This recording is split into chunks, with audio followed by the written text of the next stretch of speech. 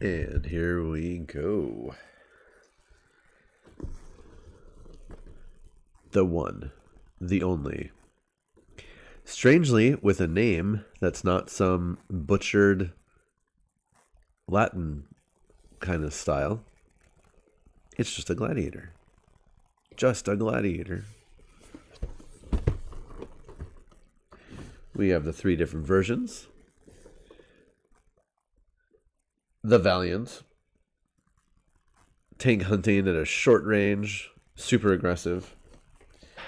The Reaper for just annihilating swaths of infantry. And the Lancer, long range tank hunting with some support weapons for anything that gets close. Welcome, everybody. Hello. The, Russell Crowe tanks, yeah. And it might even throw a phone at you, you never know. He's another actor who uh, he did some not nice stuff to people, but his career didn't suffer for it.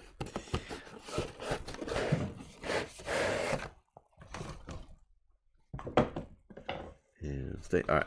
So it's a big kit, so it's got the the tray, which is nice. Keeps everything in one place. Directions. Ooh.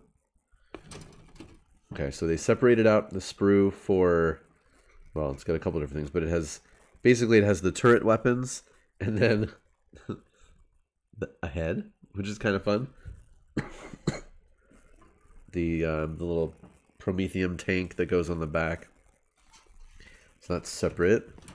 We've got the turret, and then basically the top. So this these are a lot of the things that that uh, differentiate this kit from the impulsor.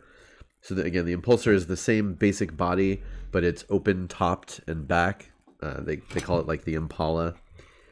So this is sort of what's different. And then we have some of the the side sponson weapons here, and then just a bunch of extra greebly bits. The the fronts of some of the uh, weapons here are here. This is the new style for how you mount this thing on a base. And with this, you can kind of turn it and it can, it looks like it's hovering, obviously with the clear. So it's cool. Then we have the actual tank itself. So here are all of the, the gravity plates that go around the front and the sides to make it hover. Mm-hmm. And then engines. I don't know what all this stuff is, but yeah, I, I have an impulsor kit. I haven't built it yet, so start with the bigger one, and then obviously the the main body parts. So it looks like you still do get interior pieces, uh, even though they're going to be covered up and you'll never see them. Now I don't know uh, because I have the impulsor, but I haven't opened it. I don't know how many of these sprues are like this sprue might might be exactly the same as in the impulsor kit. Looks like it probably is, but I don't know. Oh, I see another head. There's another head right there. Yeah, sometimes sometimes there are random heads. Well, this kit, you build it with. Uh, typically, we'll we'll see what the options are but there is a little head sticking out at the top. Hello! Or hi there, if you prefer. We got a base, little one, which is uh, obviously this tank is much bigger. It overlaps the base once it's done. And then, of course, some decals, mostly garbage ultramarines. What are you going to do? Okay let's let's get organized and then let's get started. I wonder what we start with. I'm guessing I'm guessing we're going to start with one of these. And not not the turrets. But you never know. Yeah, Zardoz, that's I I assume that's the case. But then I don't know cuz apparently with the the repulsor and the repulsor uh what is it executioner like there are differences even in the the like the whole top and the side. So I don't know. Games Workshop is silly.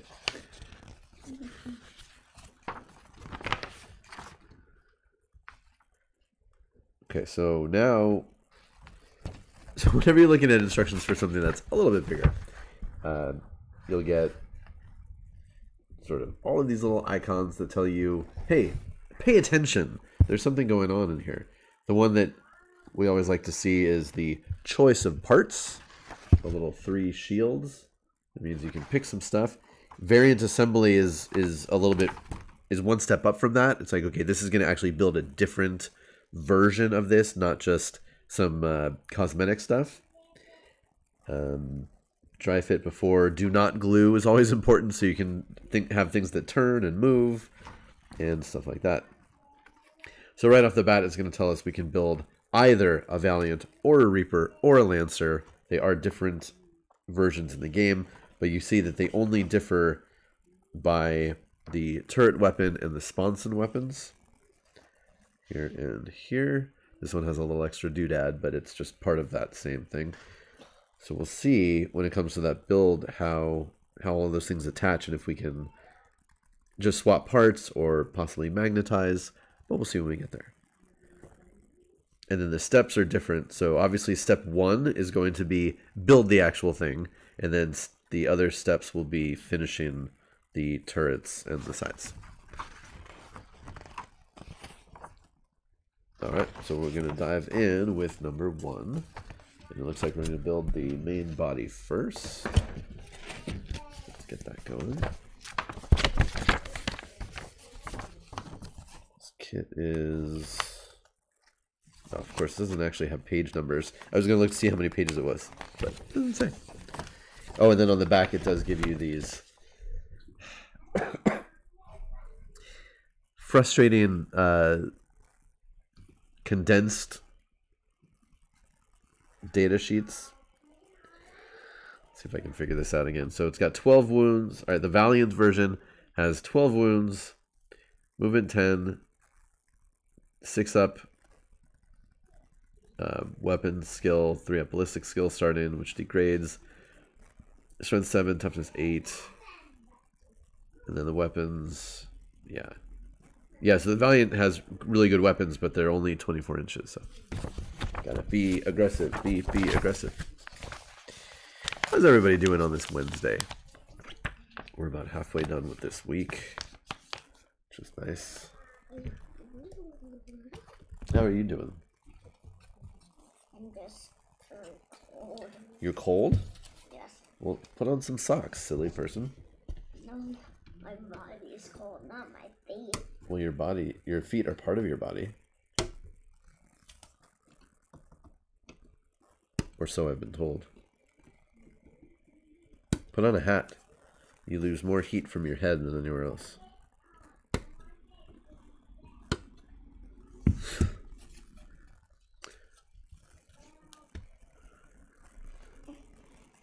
Good, Builder I'm glad to hear that you're doing well. Uh, yeah, I mean, look, I get, I get the idea of why, of why they have this again, so they don't have to print pages and pages of, of uh, data sheets in other languages. But it, it is weird. It's just something new that we have to get used to. It's not, it's, it isn't so bad. Uh, we should probably talk about the app, I guess. Man, Games Workshop is really. Oh, how is the Space Lego Assembly, Benjamin? How is the Space Lego Assembly coming? Good. I'm. I'm. I. I just started bag four. Bag four of The space Lego. no of, of how many how many total bags are there? Eleven. Okay, so we're on bag four of eleven, and you've built a couple buildings and a bunch of people, right? Um, I've built about four people Okay, four people. and one like little workshop and and one building and then a bunch of other stuff. Yeah, there's a lot of stuff. Well, then you built a little robot and a little um, drone, right? Some kind of uh, No. no. Okay. I don't know. I I built a drone in another set. Well, not a drone, but like a little um, a little vehicle of some kind, right? Oh yeah, the rover. Some kind. Oh, the rover. Okay. Well, when you were done with big pieces, or when we're done with the whole thing, I'll definitely share pictures with everybody. I'm gonna work on more of it tonight. I'm probably gonna finish bag four and start bag five. Cool. And you've d- and you've done all of that so far yourself, right? Yeah. Nice. So now when we say go to your room, you're like, all right, I'm gonna go work on my Legos. oh my goodness, my phone is blowing up over there. What's going on? Who knows? Yeah, no, he's. It was Benjamin. It was. It wasn't that long ago when you really like like now I can do Legos by myself. And then you really started excelling at all that you're building. Okay. I think the last biggest one was the last one I did. Mm-hmm. It was like the giant rover. Oh yeah. Neat. No, um, I did the space shuttle one, Mm-hmm. but but still the Oh, and that creepy. What is that? That what's that Lego line called with the um, where that you can use the AR game Oh, and it turns into yeah. ghosts. It's kind of Scooby Doo ish. one where you could scan for ghosts, Yeah. and then there's one where you don't need to scan; you just fight. Yeah. You are a ghost, and you get. Yeah, things that- to that- upgrade. The app was okay, but the the kits are cool.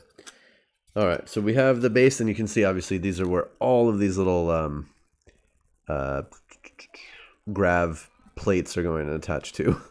It's it's like a studded leather thing right now, but we don't do that yet. First, we attach. So these are going to be the rear compartments. I'm gonna go on something like how did this go on? Well, like this. Yep, like that. There we go. So there's gonna be the interior, and you can see, of course. So this is where the Space Marines, where their backpacks plug in, their power generators. They get power from, they get powered up by the vehicle before they get out. Also, basically locks them in place. And then, of course, we've got skulls and purity seals because why not? Put them inside. Uh, yeah, so I was going to mention. So Games Workshop is really trying to make this app a thing, sort of like Fetch. Uh, I would say the the initial rollout was. I don't know if you want to use the word disastrous, but that I think that about covers it. So they're trying to make up for it. They've they have added a bunch of new content. It's still behind a Technically you can get the app for free. But if you really want any of the content, you have to subscribe. Which is I think $4.99 a month, but then that just gives you the basic content and then you still need to buy your codex and then get the yeah it's uh it's a whole thing. It's not it's, it's not great. Let's put it that way. It's not great. Now from what i i don't have the app. I have not cared enough to to try it. But it does look like with this late this latest edition it is actually useful now now does it give you any more content or ability than Battlescribe? Uh, no. So if you have Battlescribe and you're used to that, doesn't seem like there's really a need for this official app as of now. But, you know, we'll see what they do to it going forward. The neat thing is, uh, as Zardoz said, is that they just announced this morning that they're running a they're running a promotion. Get the app, sign up for it, subscribe, build your ideal army, tweet it out to the world, and one lucky person will win his or her army for real, which is pretty cool. I hope that drums up some. All right, so we have the rear compartment. Done. Hopefully that'll drum up some interest, but yeah, I don't, I don't know. Next, we're gonna build the Oh, Uh, the the barrier between the front section and the rear section. Yeah, exactly. It's just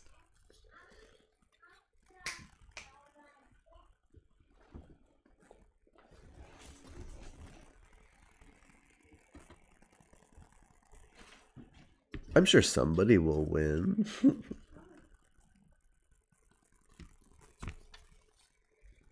well, we could all run out there and do it right now, and then, yeah. What what are our odds? How many people? How many people worldwide do you think are uh, are getting the app right this very moment? Okay, so we've got a little screen here, and then the other compartment is. I should probably check, make sure I'm getting the exact right parts. Okay, 18. Good.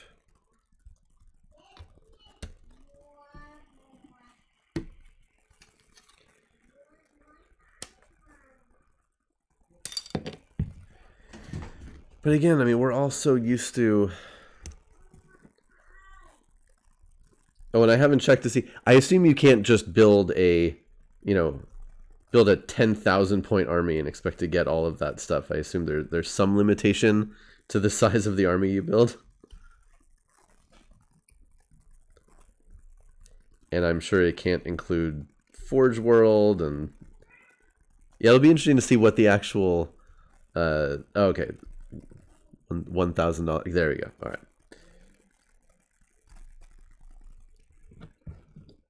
It's like, all right, well, I'm just gonna build a, a Titan maniple.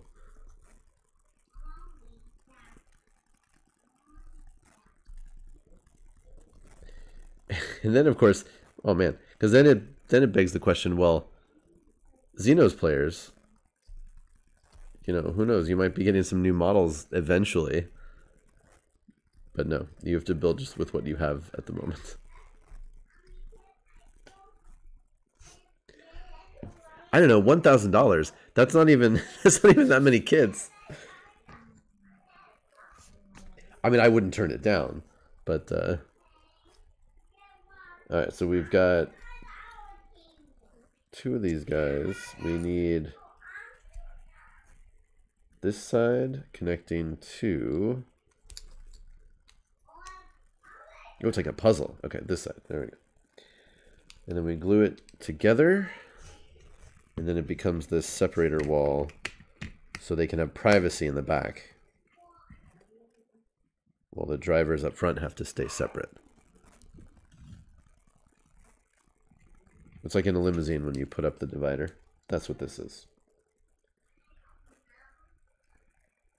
When the people in the back want their, you know, their special time.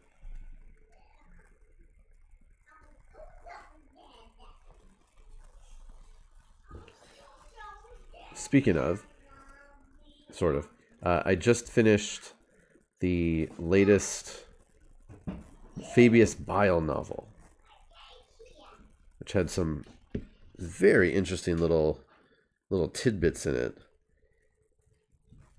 Um, overall, it was good. The ending was, you know, it was not as good as I, I was hoping for.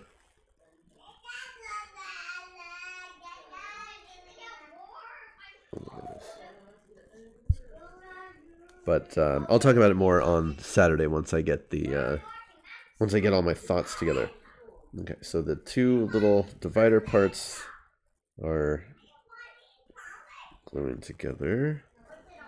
Put that over here. I'm just gonna slather some glue on here so I can put it in place. What is it?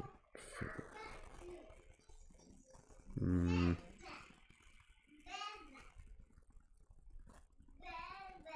Yeah, so it's the Fabius Bile story that's sort of current, almost current in 40k. It does end with an interesting note about, and this is like the most minor of all spoilers, because we already know from everything that that in current era 40k, Fabius Bile is looking to get a hold of samples of Primaris Marines and maybe, you know, do some kind of stuff with that as he does.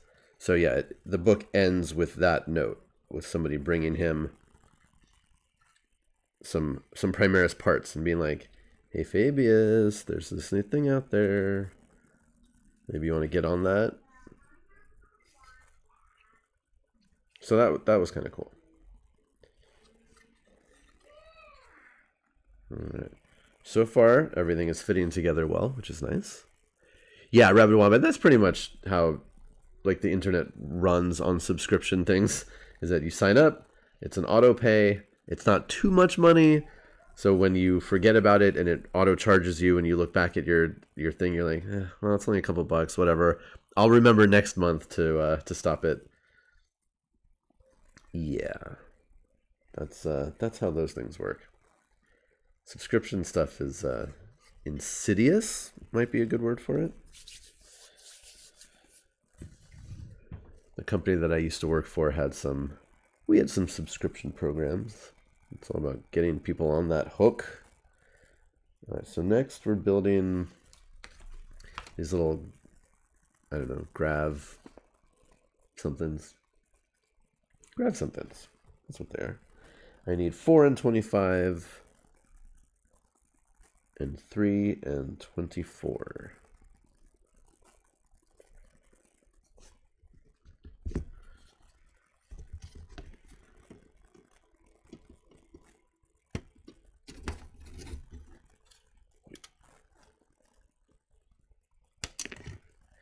It's been a while since a while since I did a giveaway. Maybe I'll do another giveaway this this Saturday.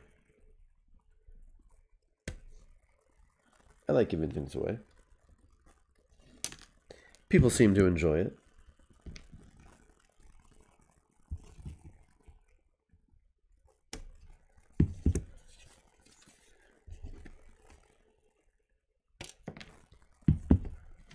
Four and twenty-five.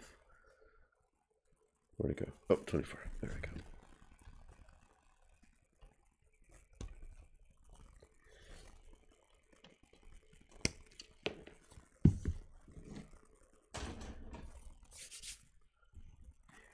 I posted a link last night to a good YouTube channel, Auspex Tactics. Talk about all sorts of. It's pretty much all in-game stuff. Their their gimmick is they want you to get the most out of your models. So it's like, okay, how does how does this unit play in this edition? How can you make it better? What are some synergies? Things like that. Not so much lore, but um, just like actual in-game stuff, and uh, their videos are pretty good. I'm endlessly fascinated though because the the guy who talks on these videos, he's from somewhere in the UK. I don't, I'm not good enough at uh, accents and things to know exactly where, but he has the most interesting cadence to his voice. So my wife always she always notes when when I when that guy comes on, but it's like every every sentence starts at this tone, goes down in the middle. It's like a horseshoe, and then comes back up at the end. I can't even. I can't for the life of me even do a good impression of it. You got to listen. You'll you'll know what I'm talking about almost immediately.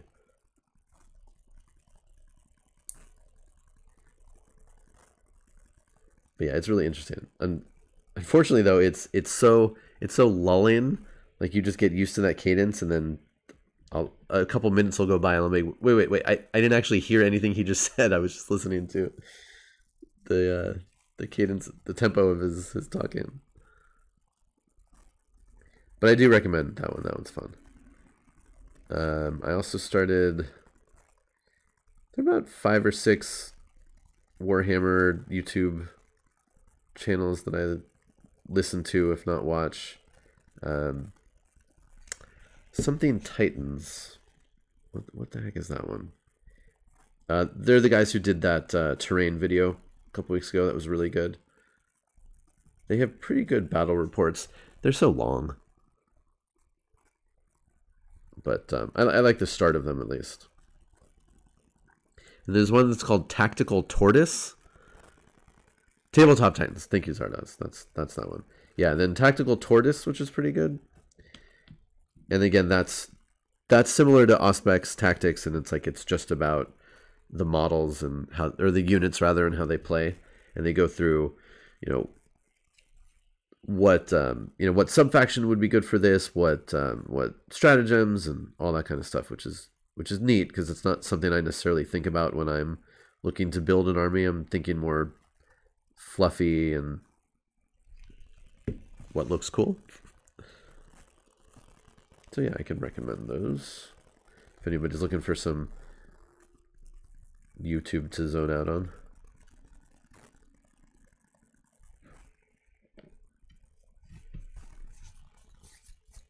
Okay. And in theory, these just pop in like so. Nice.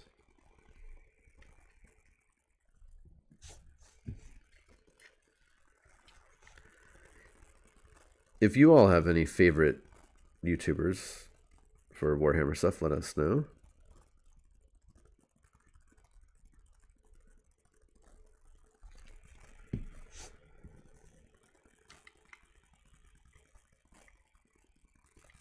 Uh oh. Did I just grab the wrong one? That was silly. okay, there we go.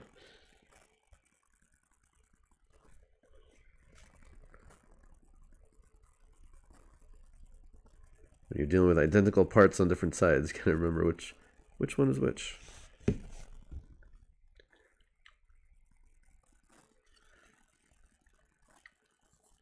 Good. So these little nozzle-like things. Uh, Zardoz says Glacial Geek GMG mini war game. Yeah, mini war gaming. I've I've got. Uh, I don't know Glacial Geek. I'll look look up that one. Cool. Nice. We should put together a list of uh, of good people, and there are still some pretty popular Warhammer YouTubers that uh, they're not necessarily the best people. So we can also issue some warnings on these guys might be popular, but they're problematic.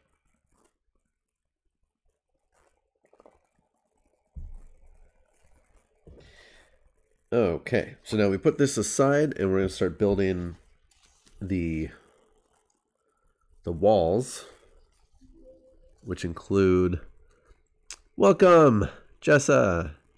Hopefully you're having a good morning. Hello. So the walls, which include some of the grav plate, um, at least the interior stuff. These little, all these little peg where you'll add the little actual plates on the outside. I don't know what, I'm sure there, there are technical words for all of these things. But, uh, yeah, cool, let's do it. So we get into some of these other big pieces. So we need side piece number 26, which is, ah, this one.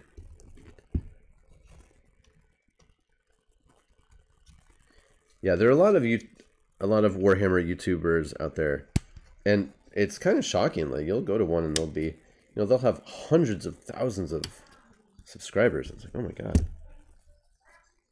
But hey, people are looking for content. YouTube is an interesting place.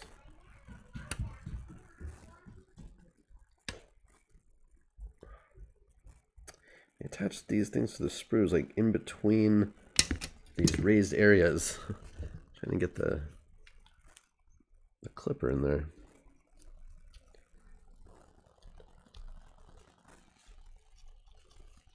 Cleaning up.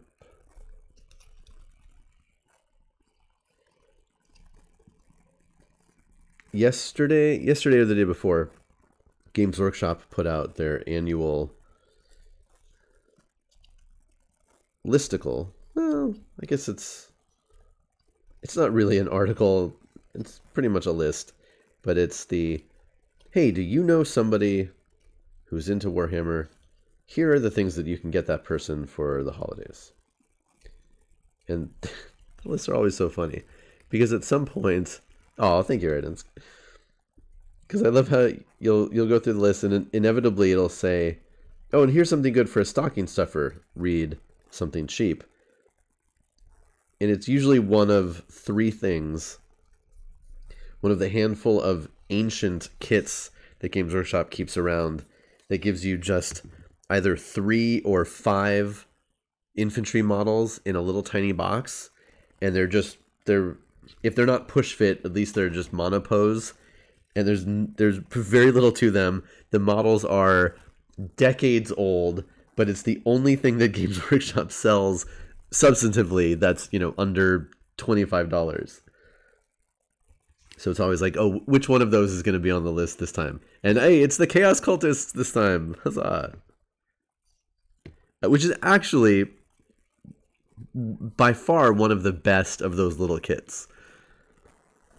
I would say because they're actually useful models. They actually still look good even though they're very old. I have lots and lots of uh, of boxes of those that I've built over the years. But yeah, it's pretty funny. And then they divide up the list. It's like, oh, do you do you know somebody who likes board games? Well, we have things that are like board games. Do you have somebody who just wants whatever's new? Here's what's new. Like, okay, calm down.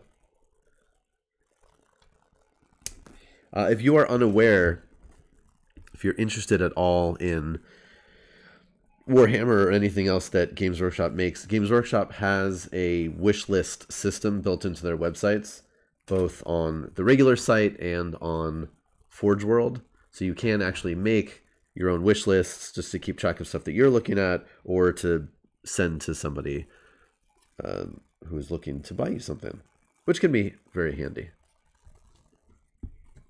So now, well, now I'm starting on this sprue, which is a little daunting, but here we go. Uh, Zardoz, what is what is still up for sale on GW? Tell us, tell us.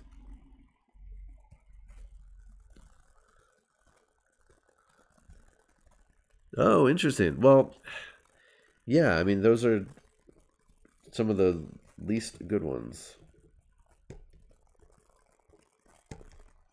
I mean, they're okay, but it's just not, they're not great.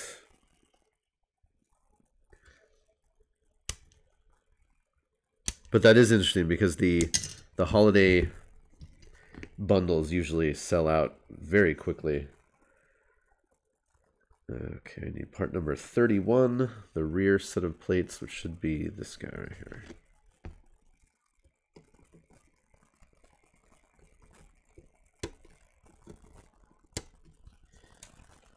Yeah, for the for the Astra Militarum, it's just it just doesn't include what you really want. And then for the Space Marines, it's units that again they're they're they're, they're not fantastic. So either either like me, I already have a bunch of those units and I don't need more, or if you're starting a new army, like that's not really where you want to start.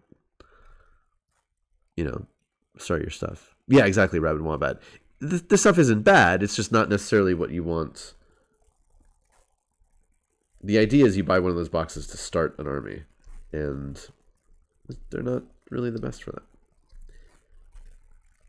And you never know. You can get all conspiracy theory that Games Workshop is trying to use that to get rid of inventory, and those kits are then going to get changed. Who knows? But yeah.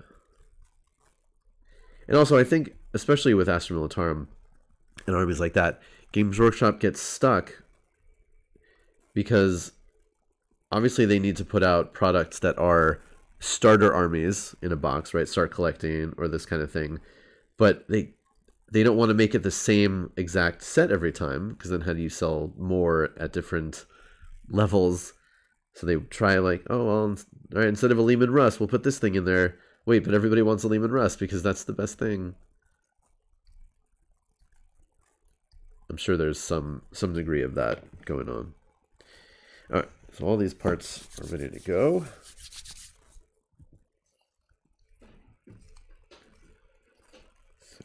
So we got this thing, plugs. Ooh, that's cool. As I get my finger stuck. Don't do that.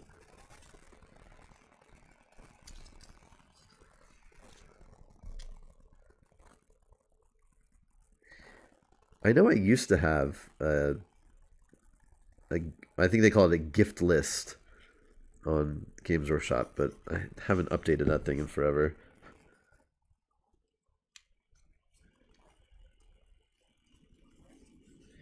Oh, my uh, orca whale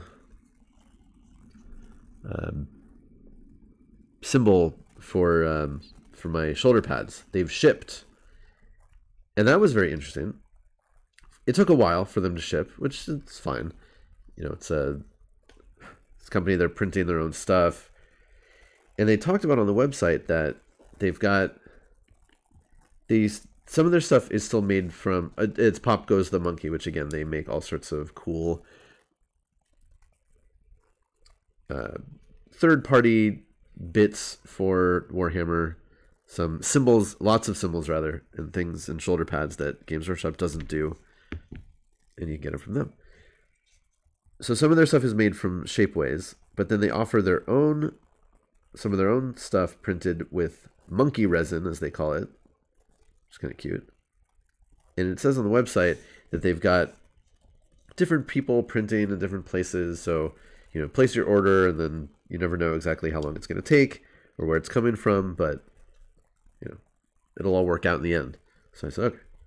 So I place my order. It takes a little while for them to print it and ship it out. And I get the shipping notification and it's coming from the Netherlands. I was like, oh, wow. That's, uh, that's far. I didn't shipping wasn't cheap, but it wasn't what I would expect for something shipping from Europe. But I guess it's cost effective for them to do it that way. Oh man, Zardoz, if they did a starter set with two Leman Russes in it, that would sell out instantly for sure. Okay, so now so we filled in the this intake thing on the side.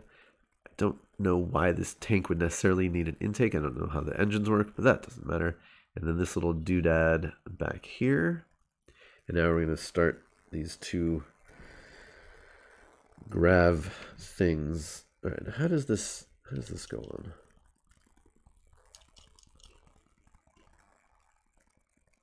I have no idea. Like that? That doesn't look right. Like this? That doesn't look right. How are these? Oh, oh, inside. Inside. There we go. that makes much more sense. Okay, cool. And that gives me a really good place to glue it. I need to get some more plastic glue at some point. I don't want to run out. That's a nightmare, right? You're right in the middle of building a kit and you run out of glue.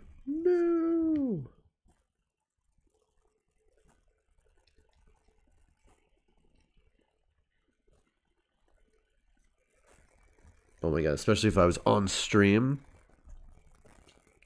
That would be horrific. Okay.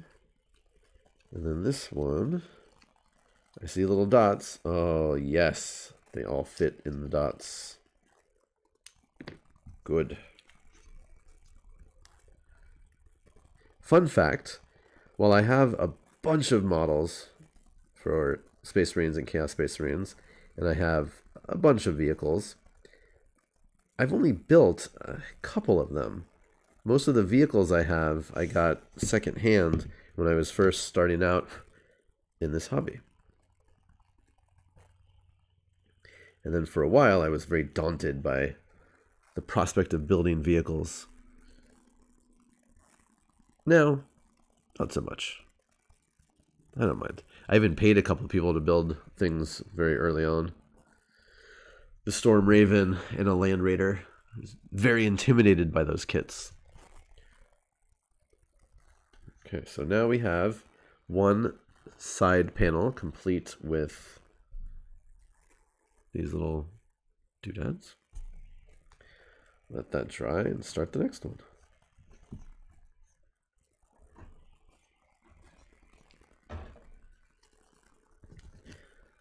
Obviously, same process on this side. Cuts.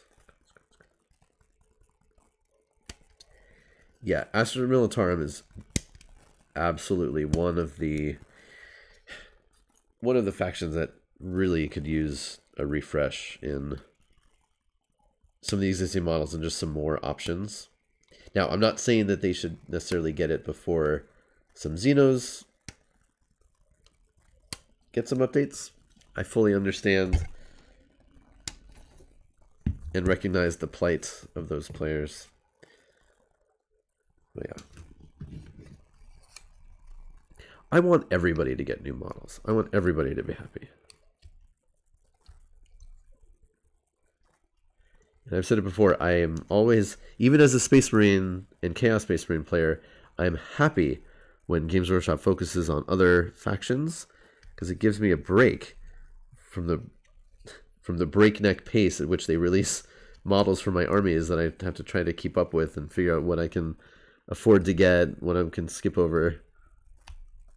Like, please stop releasing Space Marines for a few weeks at least. Give me time to catch up.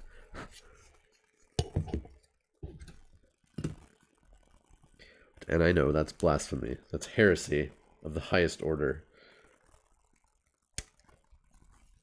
When they really when they revealed that new Ultramarines captain the other day, and everyone just was like, "Seriously, another Ultramarines character?" Screw you, Games Workshop. That was too funny. Okay, where's the little? There it is.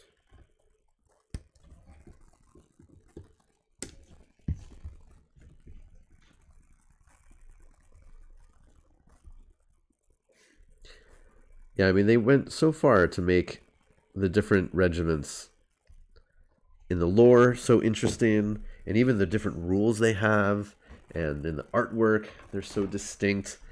And they're like, oh, but make models for them. Haha. Why would you want models for these things that look so different from other, from this, you know, the the standard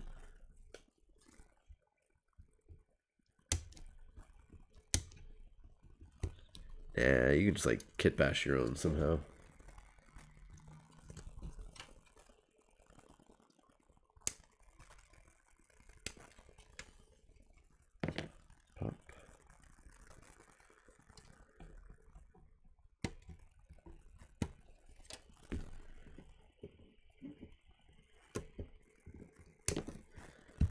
So probably next time. Uh, Actually, you know what? On Sat, I think on Saturday, we'll do we'll do a poll on Saturday for what version of this tank we're going to look at. And obviously, like I said, once once I get to the turret section, we'll see if things can be swapped in and out or magnetized. Um, I don't know. Actually, if any of you have heard or built this kit, you can let me know. Um, I just haven't gotten there yet. Yeah, T- that's exactly what I that's what I can't stand is like even when we're even when Games Workshop is focusing on another race, Xenos at some point like it'll be like and this month it's all it's all Drukhari. But we've got a special Space Marine thing mixed in. It's like god damn it. Give me a month. Give me a month when I don't have to buy something new. or lament that I can't buy everything. And again, I know I know how privileged I am. as a Space Marines player that there is so much stuff that I have to pick and choose.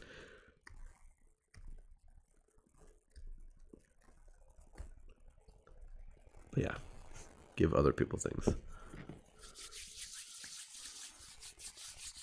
Yeah, and there used to be more of the other regiments available in kits. And sometimes they come back and Games Workshop does these special um, limited runs uh, the the phrase they use escapes me. Uh, made to order. Like, yep, we have these old molds, but we're only going to run them you know, for a couple weeks. So how many people actually want this thing again?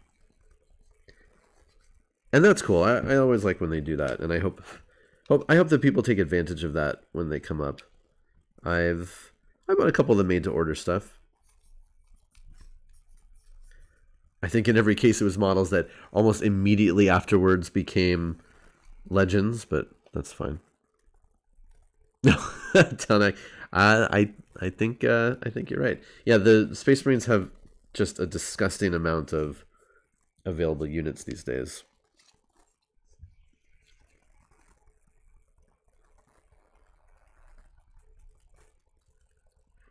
And the sheer amount of ways you can play Space Marines is pretty crazy.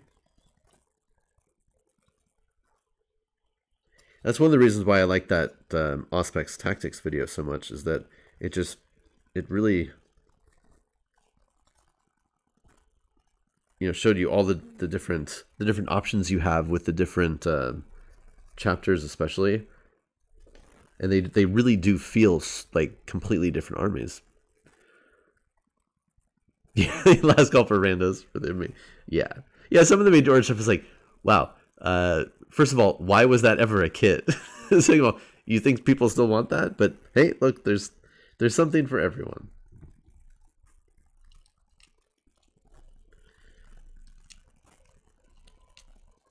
Okay, goes like that. Mm -hmm.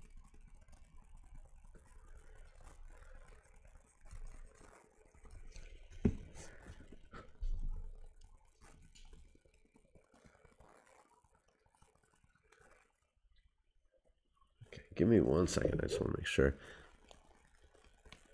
Make sure nothing crazy is going on. Uh, link tree, this, that. Okay. Nothing important.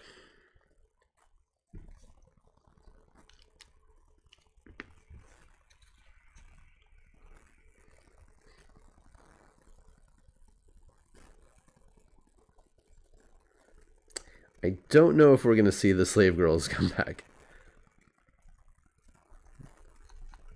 I don't know how uh, how that would be viewed these days, but you never know.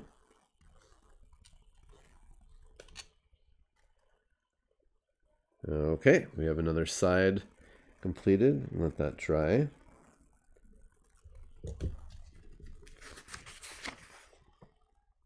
Yeah, and just attach those. Okay, you go over there and dry. Attach you. All right, let's see how this works.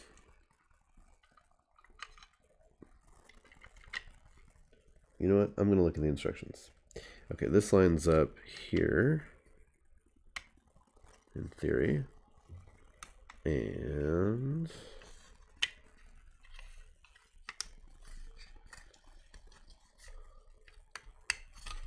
hmm, what am I missing?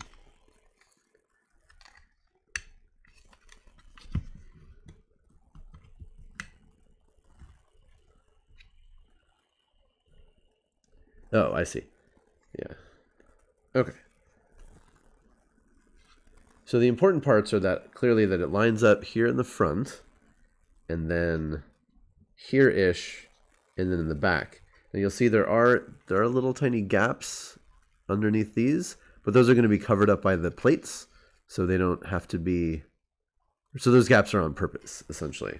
You don't have to worry about there being little tiny holes there. At least that's what I think is happening.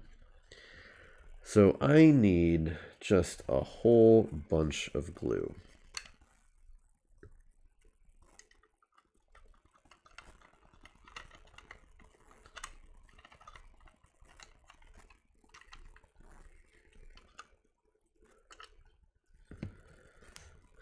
Just trying to trying to keep track of where I want the glue to go because you never want to use too much glue. Number one, just because it's a waste. And number two, because you don't want the glue spilling out and showing. So that's that side. Alright, let's do it.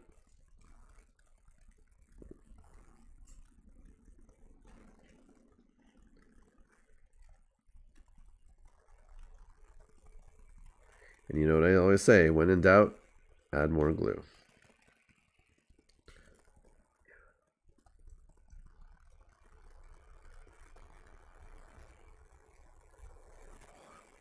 Oh, stinky.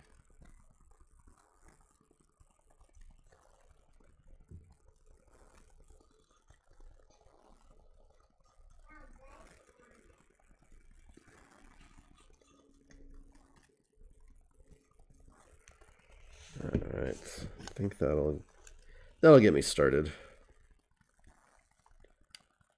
And go. There we go.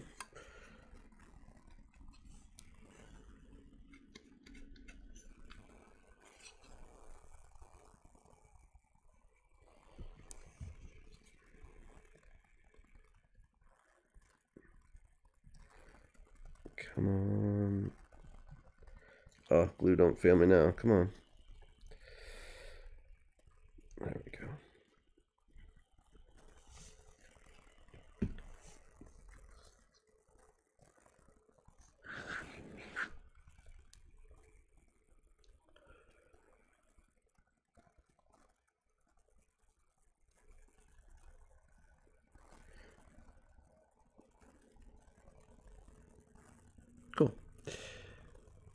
Yeah, so again, you can see all these little these little bumps.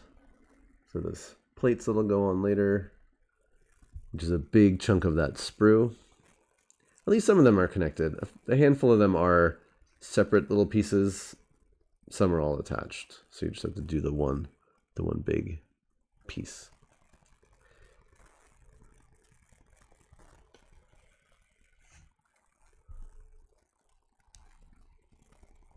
I am kind of stuck holding this for just a minute. That's okay.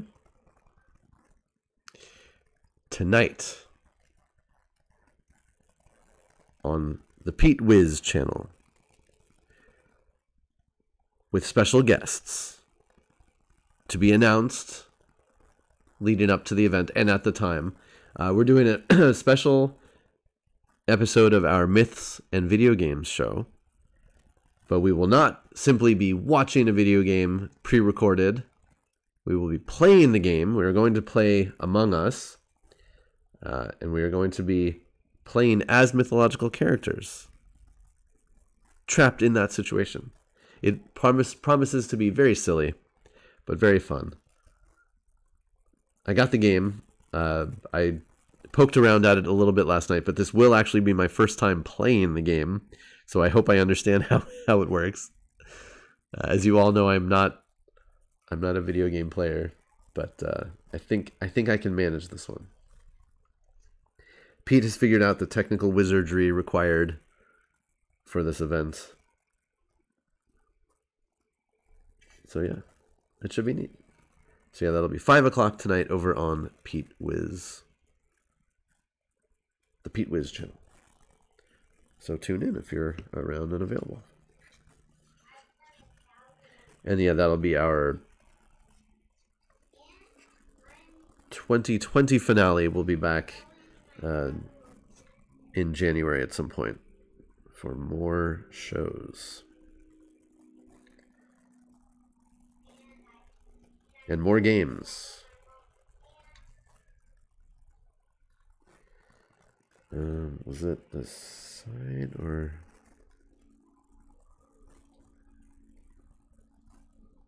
This was the part that needed more glue on the other one.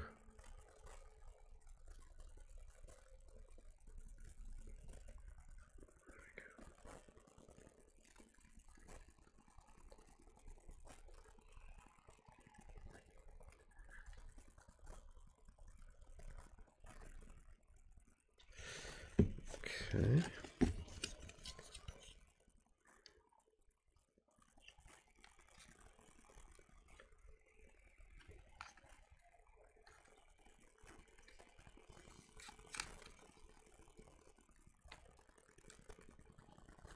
Looking good. Make sure everything is straight. I'm attaching correctly. Looks like a good fit.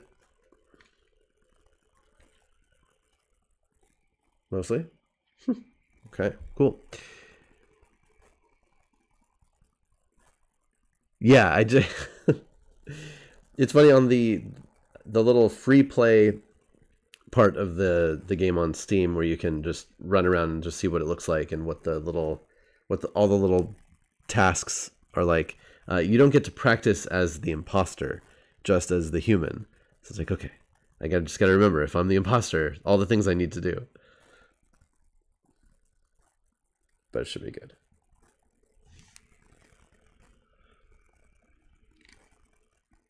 And I have seen other people play the game. So I do have some idea of how it works. Okay. Look at that. Almost ready for battle. Not quite.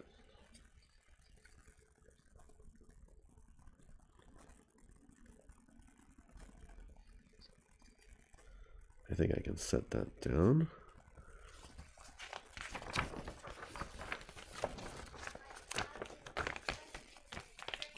Okay, so then we're going to close it up, starting from the front. Front, top, and top of the back. And then the back. Yeah, so with the, so the next five parts will completely cover up all of that interior.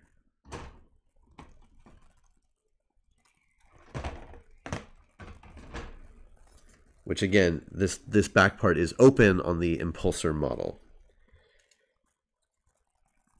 Although places like Pop Goes the Monkey sell 3D printed covers and other little things you can do with the back area if you don't want it to be open on yours.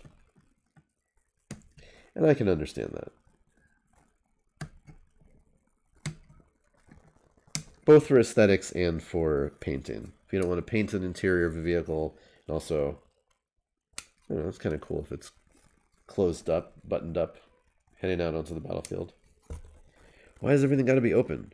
Why do all these people come into battle without helmets on? Valid questions. Where's part number eight?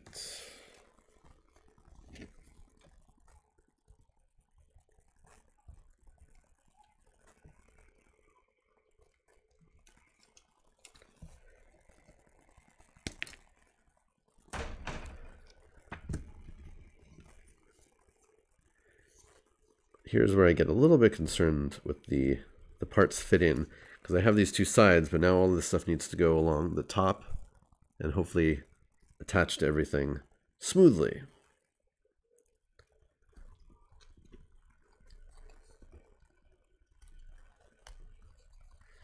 And you never know if a little bit of a little bit of sway over here is going to affect how things fit over here when it all goes together in the end.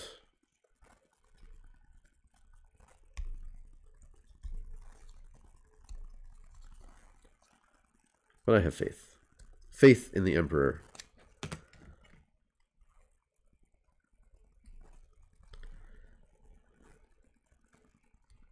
Faith in my fingernails. Okay. Yeah, I at least want to get this front piece on so I can make sure that things are working. How does this little thing go in here?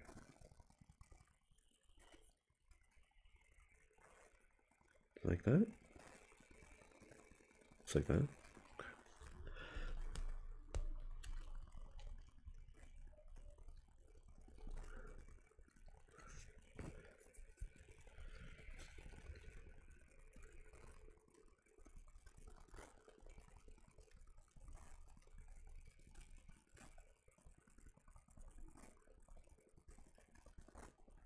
I hear there are many epic holiday celebrations in in Wombat Nation.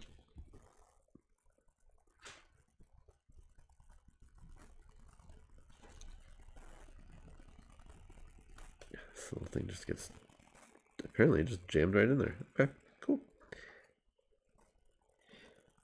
Oh, you know, one thing this kit doesn't do, or I guess does.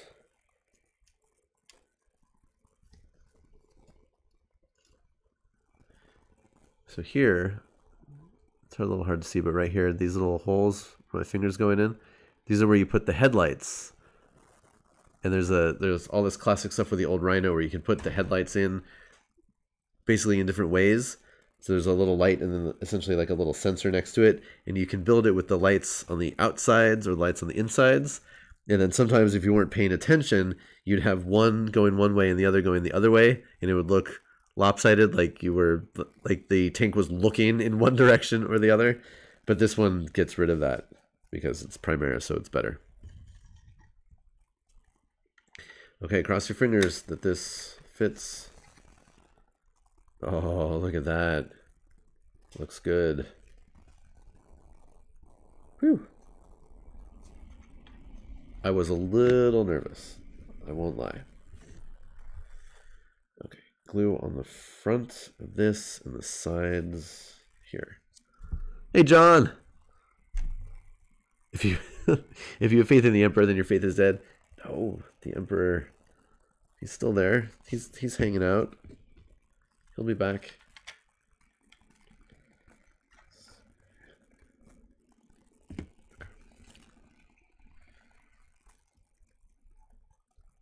Yeah, I gotta go get more glue.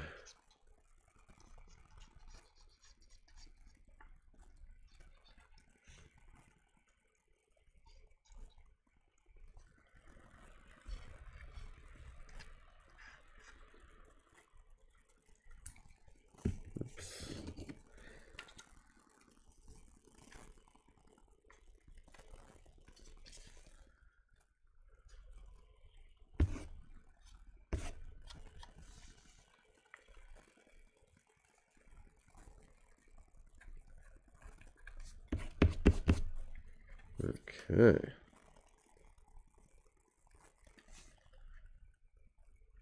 Cool.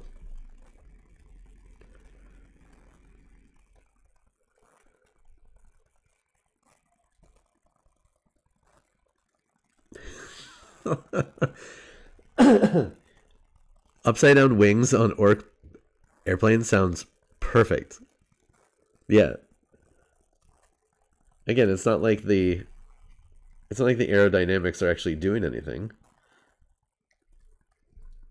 That's funny.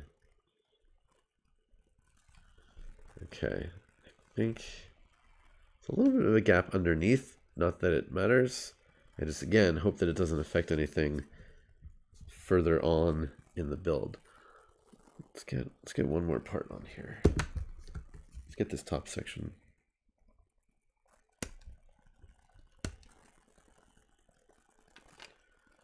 And then we'll call it a day.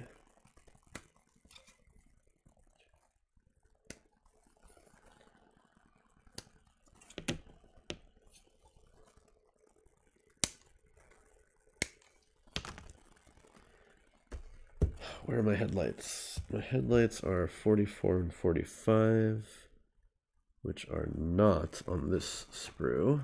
So they must be on this one. Yes, right in the middle. I guess these kind of do have the little the light and the little sensor.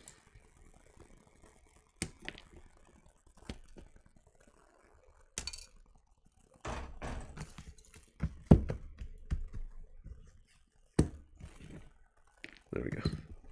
I lost a piece for a second.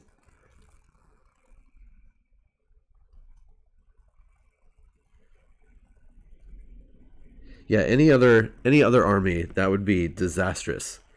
But for Orcs, like, eh, that's cool.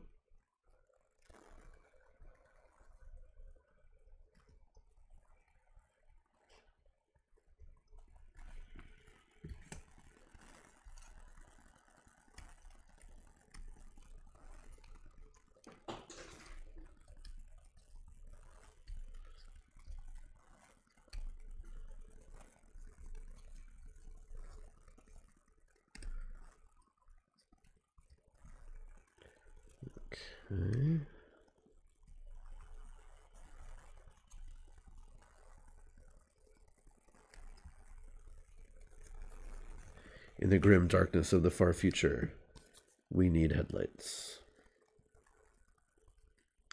So these itty bitty things go in like this. So just can we get a focus? There we go. So you see there's a little light and then little dots. Again, you just want to make sure that they're facing the right way. This one you actually you can't you can't mess it up on this one because of the way the piece is shaped to fit in there. Like I said on the on the Rhino kits, you could you could mess it up.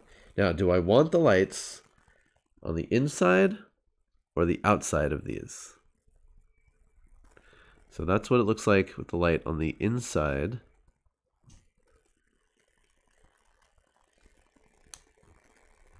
And that's what it looks like with the light on the outside. Hmm. This is a tough decision. Although I think I'm leaning toward lights on the inside. So the idea that you want the most concentrated light to be right in front of your vehicle, not going out to the sides. And if there is a sensor or something, you want that to be seen at a further angle. Does that make sense?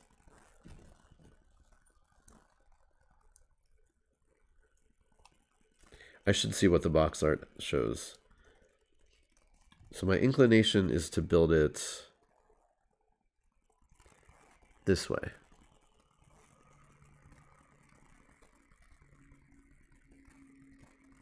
I don't know.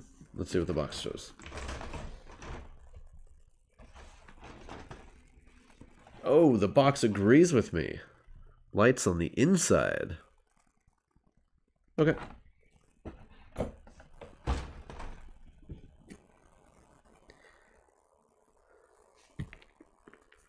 Well, there you have it. Oh, nice, Ernie Duck. Your Tyranid brood swarm has shipped more bugs. Eat more biomass.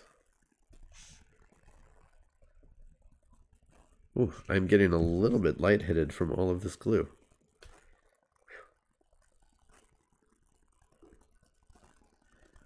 It just sort of sucks all the oxygen away.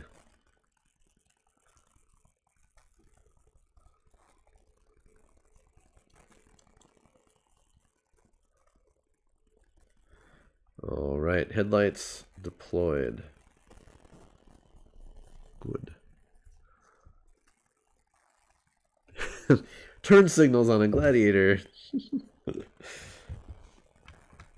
there is an old joke about turn signals on a Land Raider. Actually, I don't know where that joke comes from, and I know they use it for the comics. Ooh, so now it doesn't fit quite as well. Oh, Ha, never mind. Just needed to get that pop. Wait, hold on. Don't pop fully yet. I gotta add glue. Okay. Uh, glue on the inside of the sides, the top of the front and back. Yes.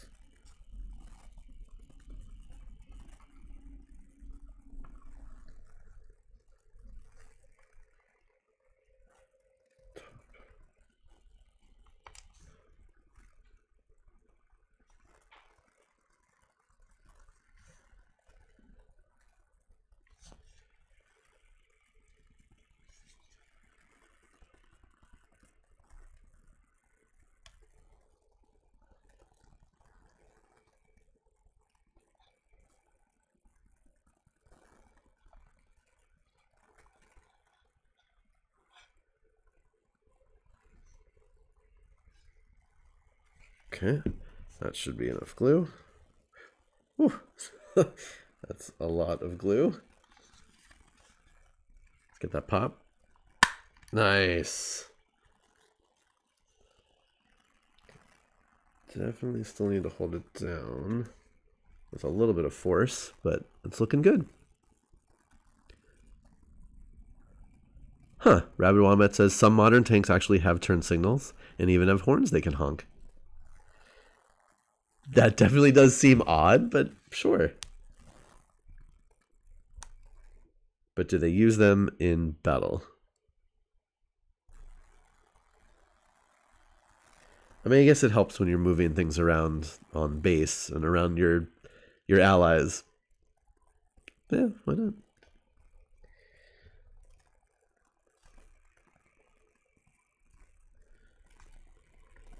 Okay, hold this for a minute more. But yeah, we've basically made most of the impulsor, if we were building one of those. Like I said, next up we're going to add the top and the back. And then I think, let's see. Yeah, and then we start in on the, the engines and all of the, the grav plate in, which goes for just a couple more pages. And then we get to decide on the variant. Which version, what can be magnetized, if anything, which we'll look at next time. If I have a chance, I'll try to cut out some pieces in advance so we can start playing with it. But I usually don't have time to do much much in advance. That's true. If you don't have turn signals, you can't drive it on the road. You got to pack it up. Pack it up. Okay. I think it looks pretty good. Nice. Look at that. Definitely on our way.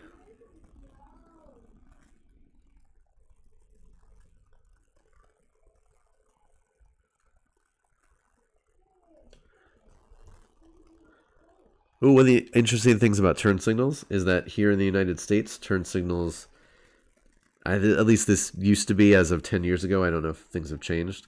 But turn signals here are made with yellow amber lights. But in Europe, they can be made in pretty much any color. So at least, again, it used to be that for Porsches that were, if you bought a Porsche here in the United States, it would come with amber lights. But one of the things that a lot of Porsche owners immediately did was swap those out for European turn signals, um, which were clear instead of yellow. Because, yes, for a while I worked in Porsche parts. Don't ask. Long story. I didn't install them All right. Well, I'm excited. This thing looks really cool. I like the size of it. And I look forward to continuing next time.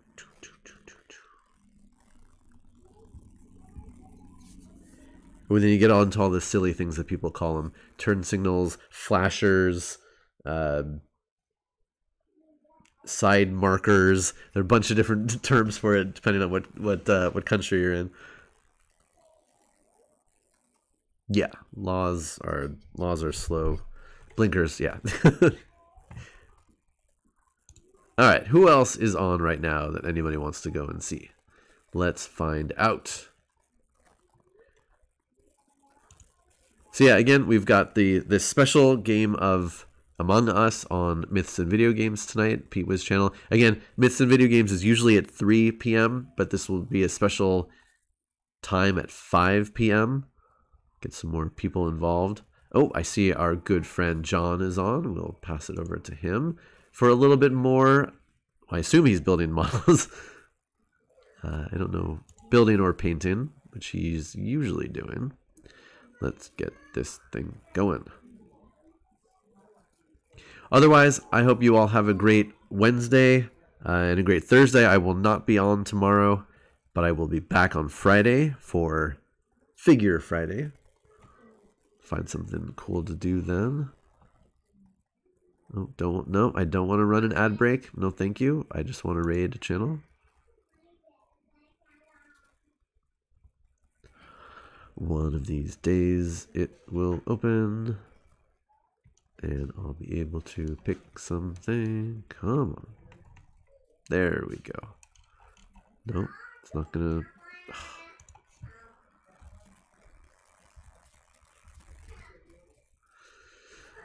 Any minute now. Any minute.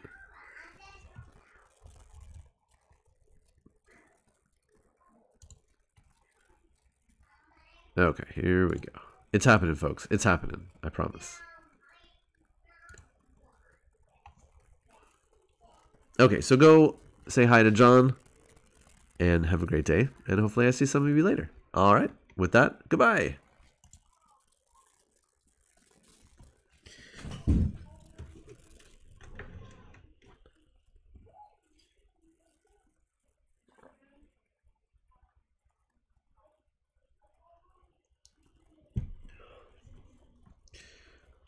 Okay, I am offline.